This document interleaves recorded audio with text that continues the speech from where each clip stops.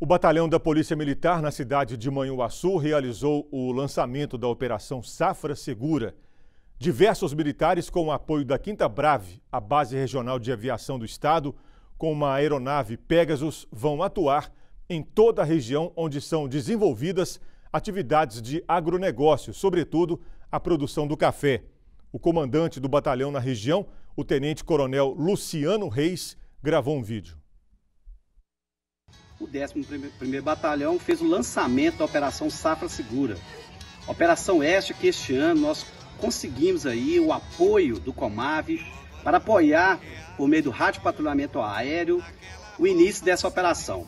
Então nós tivemos hoje na cidade de Caputira, num, numa importante fazenda daquela cidade, agora aqui no município de Manhuaçu, num importante empreendimento aqui também, onde nós queremos fortalecer o agronegócio, porque a missão da Polícia Militar é com que as pessoas empreendam. E o agronegócio é responsável aí pelo, pelo PIB do nosso, do, dos nossos municípios.